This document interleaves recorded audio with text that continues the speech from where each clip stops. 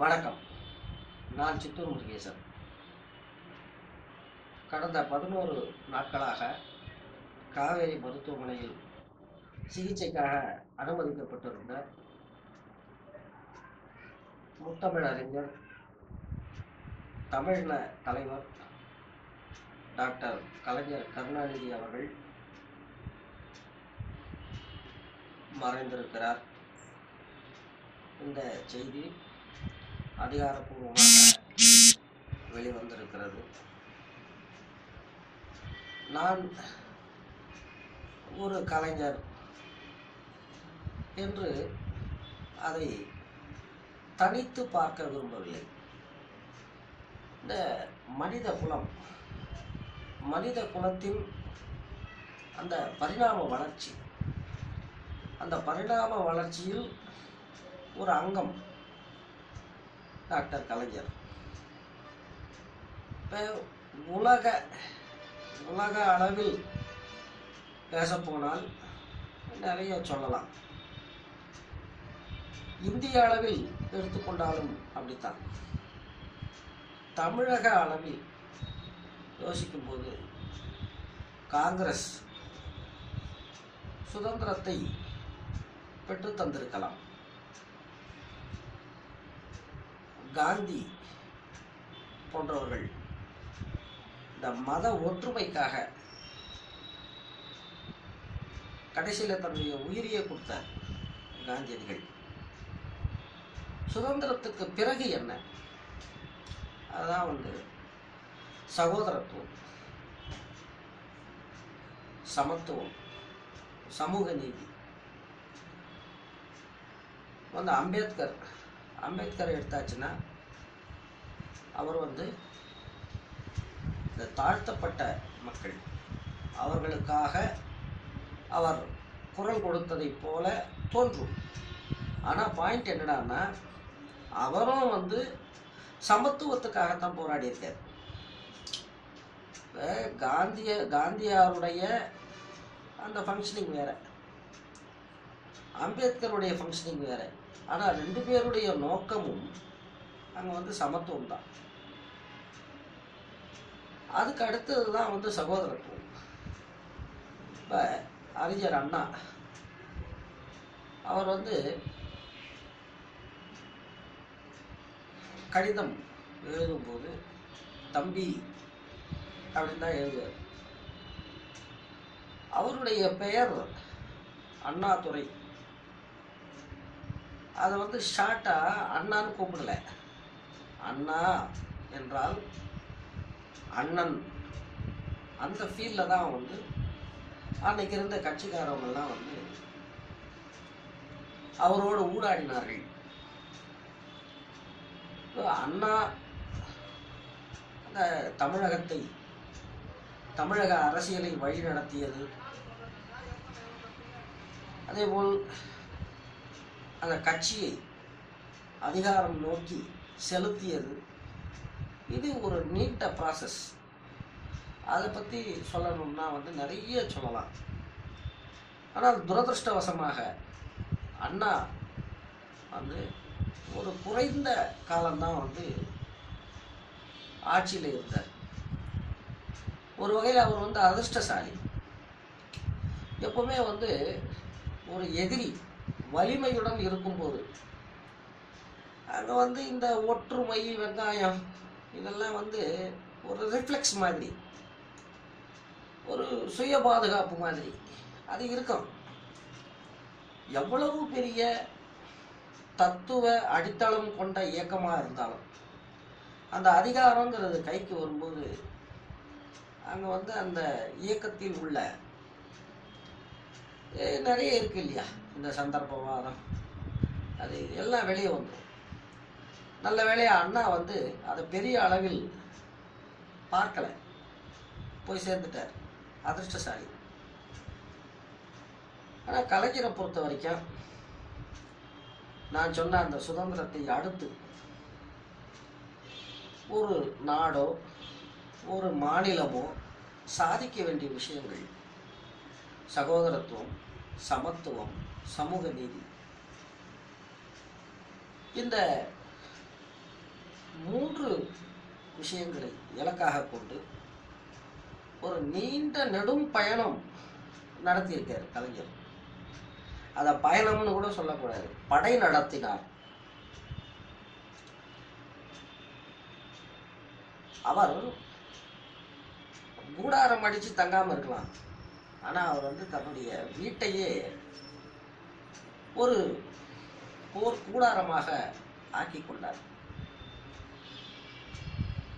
இப்ப இந்த கலைஞர் கருணாநிதி அப்படின்றதுமே வந்து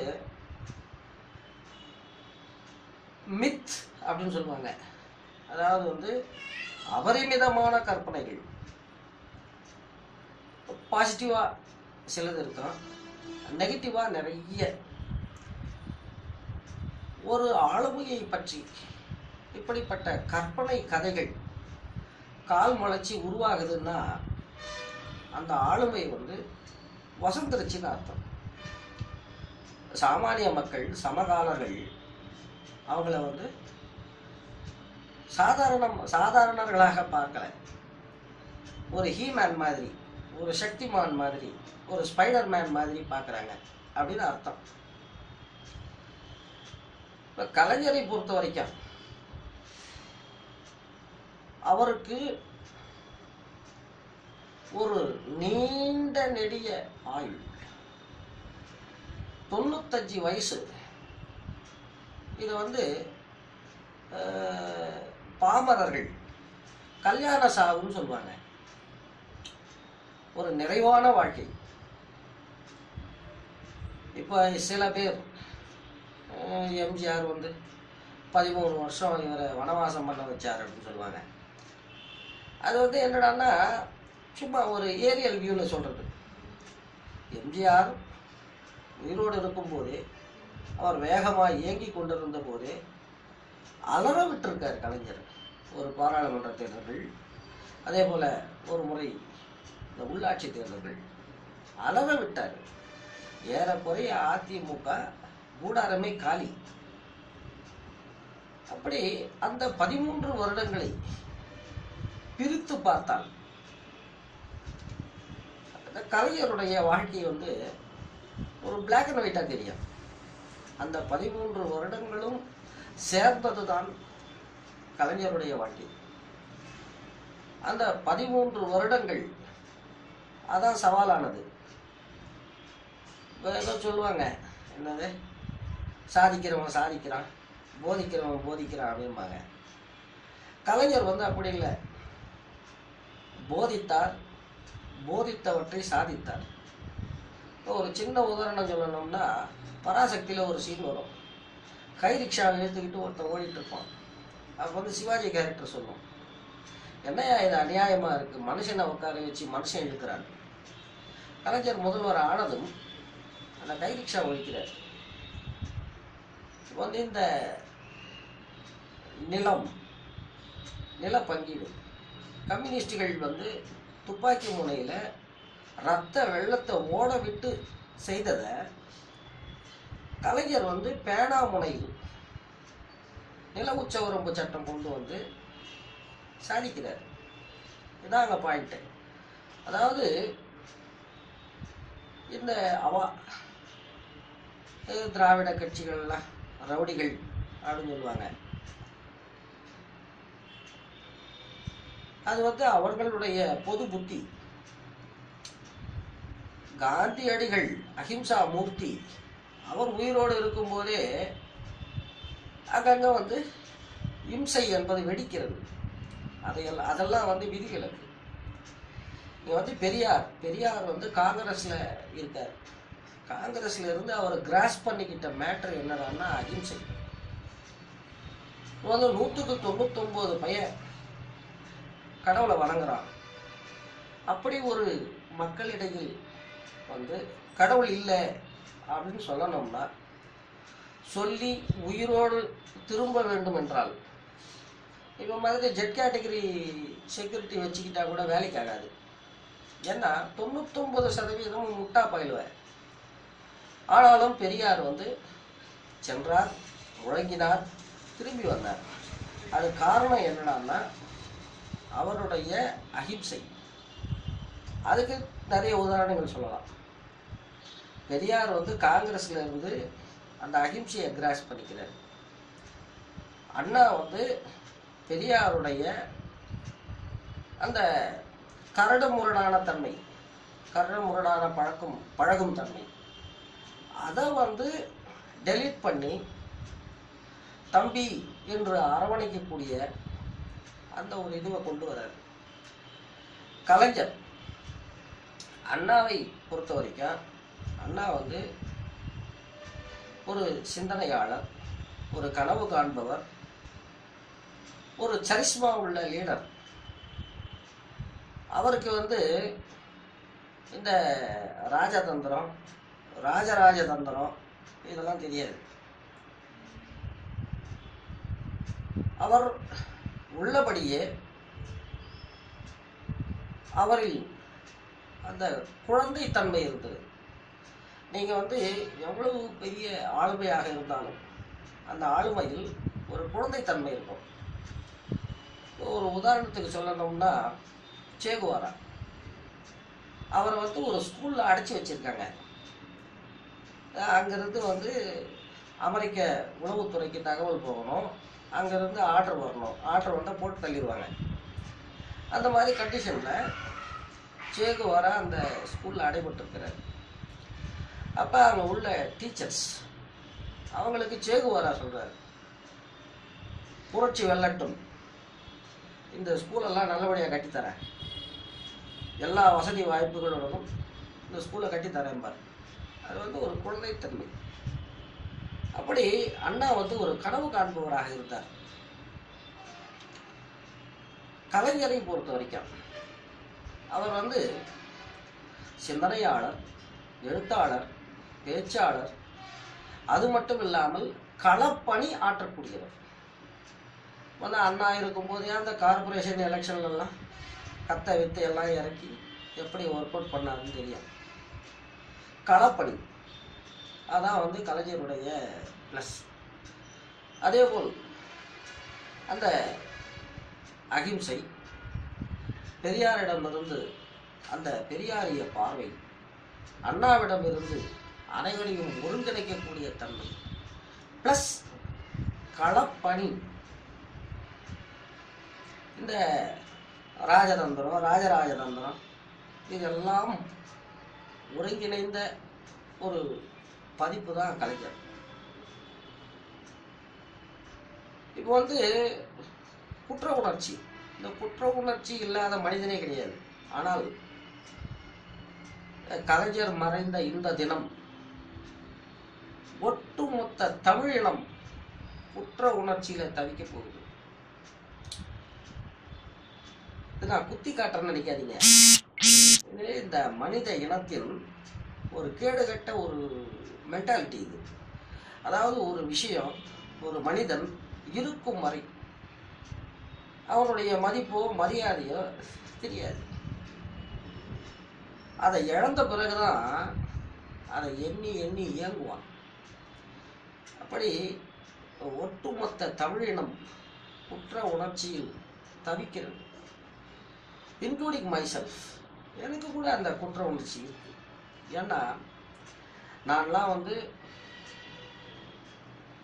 இந்த ரெண்டாயிரத்தி பதினாறு பிப்ரவரியில தான் வந்து கலைஞர் ஆதரவு நிலையை எடுக்கிறேன் அது வரைக்கும் வந்து நான் கூட இந்த நடுநிலை நக்கிகள் போல மேதாவிகள் போல அறிவுஜீவிகள் போல நானும் வந்து கலைஞரை வந்து ஊம குத்தா குத்திக்கிட்டு இருந்தேன். அதாவது என்னடான்னா இங்கே? அந்த வட்டத்தில் அதாவது இந்த அறிவுஜீவிகள் நடுநிலை நக்கிகள் இந்த வட்டத்தில் வந்து என்னென்னா நீங்கள் வந்து கலைஞரை வந்து கேப்பில் ரெண்டு குத்து குத்தணும். அப்போ தான் வந்து உங்களுக்கு முத்திரை குத்துவாங்க. நீ நடுநிலை அப்படின்னு. அப்படி இன்க்ளூடிங் மை செல்ஃப் குற்ற உணர்ச்சியில் இருக்கிறேன். ஆனால் ஒன்று புனரபி ஜனனம் புனரபி மரணம். உறங்குவது போலும் சாக்காடு உறங்கி இழிப்பது போலும் பிறப்பு. உடலால் வாழ்ந்து உடலாலேயே மதிக்கக்கூடியவர்கள் அவங்களுக்கு தான் வந்து இந்த மரணம் கிரணம்லாம் செல்லும். கலைஞர்லாம் வந்து ஒரு ஆளுமை குறைஞ்சபட்சம் அதாவது வந்து இந்த மூணாவது உலக யுத்தம் மாதிரி எதுவும் அச்சாரியமாக நடக்காமல் உலகம் இப்படியே தட்டு தடுமாறி ஓடிக்கிட்டு இருந்தா. குறைஞ்சபட்சம் ஒரு பத்தாயிரம் வருடங்களுக்கு கலைஞர் பெயர். அவருடைய அந்த போர் குணம் தன் இனம் தன் இனம் வாழ தான் ஈழவும் தயாரான அந்த தியாக வரலாறு நினைவு கூறப்படும். சந்தேகம் கிடையாது. ஒருவேளை மூணாவது உலக யுத்தம் வந்து எல்லா பயலும் இலை தழையை கட்டிக்கிட்டு அலைய வேண்டி வந்தால் சொல்ல முடியாது. அதையும் நான் சொல்லிடுறேன்.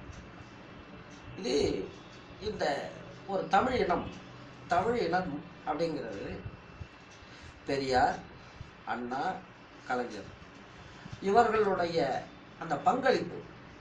இது வந்து ஒரு வளர்ச்சி பரிணாம வளர்ச்சி.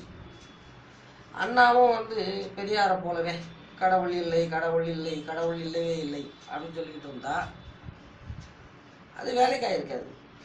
இன்றைக்கும் வந்து காங்கிரஸ்காரனோ இல்லை காங்கிரஸ் வந்து இல்லாத அட்டோரியம்லாம் பண்ண ஆக்சிடென்டலாக இந்த காவிங்க கூட வந்து உக்காந்துருக்கலாம். ஆனால் அண்ணாதுரை வந்து அதை அப்டேட் பண்ணுறாரு ஒன்றே குலம் ஒருவனே தேவன் அப்படின்னு வர்றார். அதனால தான் வந்து அந்த வாக்கு அரசியலில் கட்சி வந்து வெற்றியை காண முடிகிறது. கலைஞரை பொறுத்த வரைக்கும் அவர் வந்து கடவுளை நான் ஏற்றுக்கொள்கிறேனா இல்லையா என்பது முக்கியமில்லை. அப்படி ஒருவர் இருந்தால் அவர் ஏற்றுக்கொள்ளும் வகையில் நான் வாழ்ந்திருக்கிறேனா என்பதுதான் முக்கியம். அப்படி இந்த ஒட்டுமொத்த தமிழினம் இந்த தமிழ் இனத்தினுடைய பரிணாம வளர்ச்சி. இப்போ வந்து கலைஞருடைய சாதனைகளை நான் பட்டியலிட்டு நீங்கள் தெரிஞ்சுக்கணுங்கிற அவசியம் கிடையாது. அதாவது எல்லாமே வந்து என்னடான்னா இந்த இரங்கற் பா பாடும்போது ஏதோ ஒரு தனி மனிதன் ஏதோ ஒரு குறிப்பிட்ட காலத்துக்கு எதையோ செய்தார் அப்படிங்கிற மாதிரி தான் பேசுவாங்க. ஆனால் இது வந்து என்னடான்னா ஒரு ஒலிம்பிக் தீபம் மாதிரி. பெரியார் கையில் எடுத்து லொங்கு லொங்குன்னு ஓடிக்கிட்டு இருந்தார். அண்ணாதுரை அதை வாங்கினார். வாங்கி அவர் வந்து ஒரு சைக்கிள் ரிக்ஷாவில் வந்தார். கலைஞர் அதை வாங்கி அம்பாசிடர் காரில் போட்டுட்டு போனார். இப்போ அடுத்தது வந்து தளபதியார். இது வந்து இன்னும் வேகம் எடுக்கும். நிச்சயமாக ஏன்னா இன்னைக்கு இருக்கக்கூடிய விஞ்ஞான முன்னேற்றம் அப்படி நடப்பவை நல்லவையாக இருக்கட்டும். நன்றி வணக்கம்.